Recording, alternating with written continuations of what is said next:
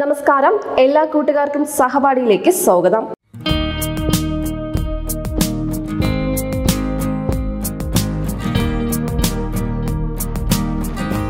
ഇന്നൊരു ക്ലാസ് അല്ല. ജീവശാസ്ത്രത്തിലെ ചെറിയൊരു അറിവാണ് നിങ്ങൾക്ക് വേണ്ടി പങ്കുവയ്ക്കുന്നത്. എല്ലാവരും തവളകളെ കുറിച്ച് കേട്ടിട്ടുണ്ടാവും. എന്നാൽ അധികമാരും കേൾക്കാത്ത ഒരു തവളയിലെ ഒരു വിഭാഗമാണ് പാതാള എന്നത്.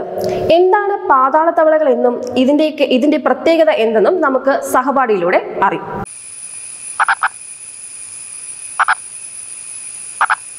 തവളകളുടെ കൂട്ടത്തിൽ അപൂർവ ഇനത്തിൽപ്പെട്ടവയാണ് പാതാള തവളകൾ ഇവ കേരളത്തിലും സുലഭമായി കാണാറുണ്ട്. ഇവ മിക്കവാറും സമയങ്ങളിൽ മണ്ണിനടിയിലായിരിക്കും. അപൂർവമായി മാത്രമേ ഇവ പുറത്തു വരാറുള്ളൂ. അതുകൊണ്ടാണ് ഇവയെ അപൂർവം എന്ന് പറയുന്നത്. മാത്രമല്ല ഇവ വർഷത്തിൽ ഒരിക്കൽ മാത്രമേ മണ്ണിനടിയിൽ നിന്നും പുറത്തേക്ക് വരൂ. ജീവിതത്തിന്റെ മുഖ്യഭാഗവും ചെലവഴിക്കുന്നത് മണ്ണിനടിയിലായിരിക്കും. മണ്ണിനടിയിലുള്ള ചിതലുകളും മണ്ണിരകളും മണ്ണിലെ ചെറു പ്രാണികളുമാണ് മുഖ്യ ആഹാരം. എന്നാൽ മൺസൂൺ കാലത്ത് പ്രത്യുൽപാദന സമയത്ത് മാത്രമാണ് ഇവ പുറത്തേക്ക് വരിക. രണ്ടാഴ്ച കാലം ഇവ പുറത്തു തന്നെ ഉണ്ടാകും. തവളയുടെ വാൽമാക്രി ഘട്ടം കഴിഞ്ഞാൽ പാതാള തവളകൾ മണ്ണിനടിയിലേക്ക് തന്നെ തിരിച്ചു പോകും. വർഷത്തിൽ ഒരിക്കൽ മാത്രം പുറത്തു വരുന്നത് കൊണ്ട് ഇവയ്ക്ക് മാവേലി തവള എന്നൊരു പേരും കൂടിയുണ്ട്.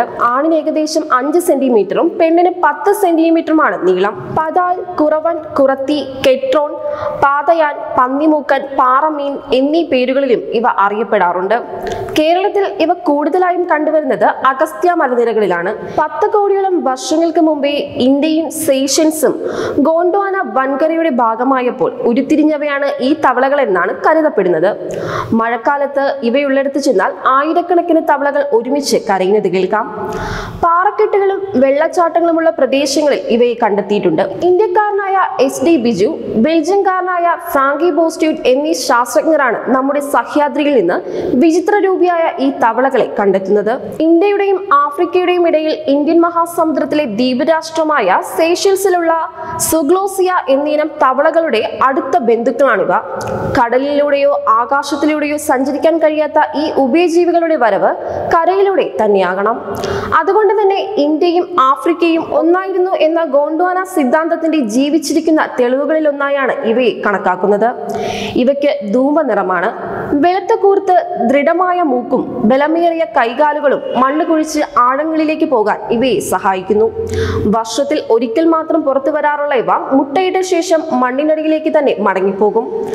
മുട്ടയിടാൻ സാഹചര്യങ്ങളെല്ലാം സജ്ജമായി എന്ന് മനസ്സിലാക്കിയാൽ ഇണയെ ആകർഷിക്കാനുള്ള പ്രത്യേക കരച്ചിലാണ് ഈ സമയത്ത് ആദ്യം തുടങ്ങുക. കരച്ചിൽ കേട്ടെത്തുന്ന പെൺതവള ആൺതവളയെയും ചുമന്നുകൊണ്ട് തുരങ്കത്തിലൂടെ മണ്ണിന് മുകളിൽ വരും. ഒരു സമയം നാലായിരത്തോളം മുട്ടകളാണ് ഇവ ഇടാറുള്ളത്. ഒരാഴ്ചയ്ക്കുള്ളിൽ വിരിഞ്ഞു വരുന്ന വാൽമാക്രികൾക്ക് ഒഴുക്കുള്ള വെള്ളത്തിലും പറ്റിപ്പിടിച്ചു നിൽക്കാൻ സാധിക്കും. അതേസമയം വലിയ മഴ പെയ്താൽ മുട്ടകളെല്ലാം നശിച്ചു പോകും. ഇനിയിപ്പോൾ മഴ വൈകിയാലും ചൂടിൽ മുട്ടകളെല്ലാം വരണ്ട് ഉണങ്ങിപ്പോകും. വാൽമാക്രികൾ വിരിഞ്ഞ് തവളക്കുഞ്ഞുങ്ങളാകാൻ നൂറ് മുതൽ നൂറ്റിപ്പത്ത് ദിവസങ്ങൾ വരെ വേണം.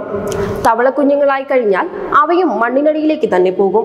എന്നാൽ ഈ വിഭാഗത്തിൽപ്പെട്ട തവളകൾ നേരിടുന്ന പ്രശ്നങ്ങൾ വളരെ വലുതാണ്.